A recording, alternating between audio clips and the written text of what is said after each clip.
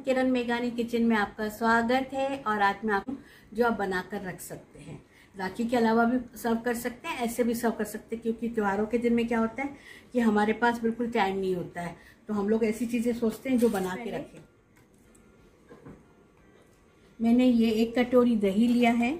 इसमें मैं एक चम्मच शक्कर एक चम्मच जीरा और पान का पत्ता बारीक किया हुआ डाल रही हूँ। और इसके अंदर एक उबला आलू मैश करके। इसमें क्या होगा? हमारे दही का फ्लेवर आ जाएगा।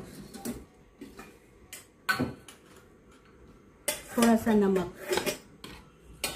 नमक, जीरा और आलू और पान का पत्ता। ये ठंडी ठंडी दही बना के आपको रख देनी है।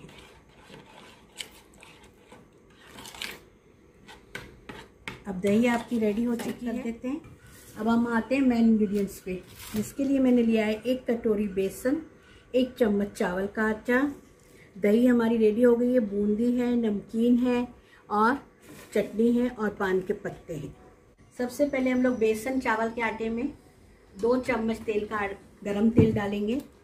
ये मैंने आधा चम्मच नमक, आधा चम्मच लाल मिर्च और वन पिंच मैंने ऑरेंज कलर लिया है। और इसके अंदर मैं डालूँगी वन पिंच सोडा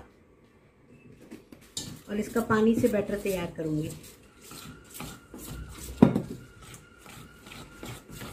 समझ में आ गया ना अब आपको मैं कौन सी चाट सिखाने जा रही हूँ? मैं सिखाने जा रही हूँ पान की चाट।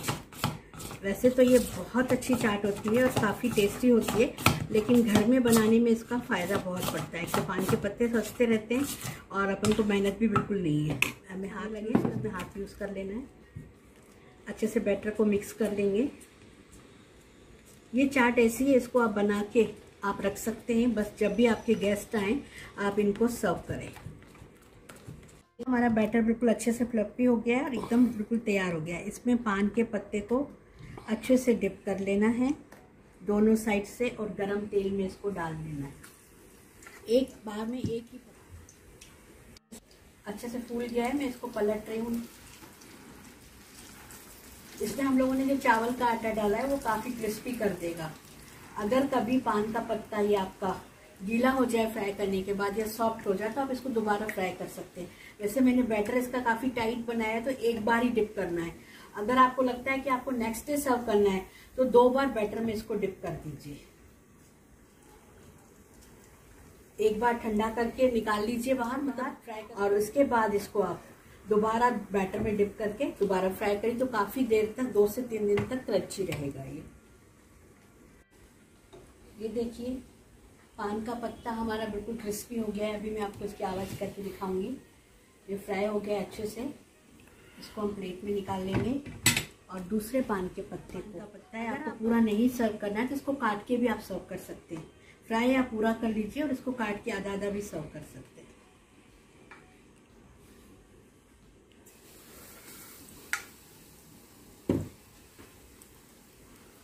देखिए, कितना क्रंची है। अब हम इसको काट के भी सर्व कर सकते हैं और पूरा भी सर्व कर, आपको आवाज़ आ रही है?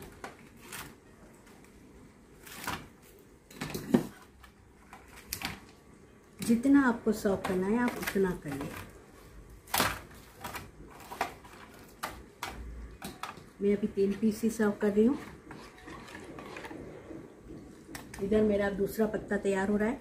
जो दही आलू वाली तैयार की थी, वो मैं इसके ऊपर डाल रही हूँ।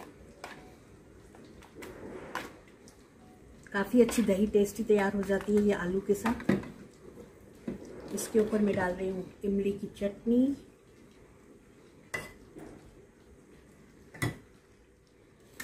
थोड़ी सी बूंदी। थोड़ा सा नमकीन। आप अगर स्पाइसी खाते हैं तो ऊपर से हरी मिर्च डाल सकते हैं बारीक कटी हुई। ये हमारी पान चाट रेडी होगी। आपकी पान की चाट रेडी है। हरी मिर्च हरा धनिया डाल सकते हैं। मैं नहीं मेरे यहाँ कोई नहीं पसंद करता तो मैंने नहीं डाला है। इस रेसिपी के लिए एक टिप्स देना चाहूँगी। टिप्स ये है कि ये अगर कभी सॉफ्ट हो जाए तो इसको दोबारा आप डीप फ्राई भी कर सकते हैं या फिर आप इसको दोबारा बैटर में डिप करके भी डीप फ्राई कर सकते हैं। अगर आपको दो तीन दिन स्टोर करना है मैंने ये पहले बता दिया है। कि अगर आपको दो तीन दिन स्टोर करना है तो उसको आप दोबारा बैटर में फ्राई करें। यदि आपको मेरी रेसिपी पसंद आती है तो प्लीज़ लाइक शेयर सब्सक्राइब ज़रूर करें। Thanks everyone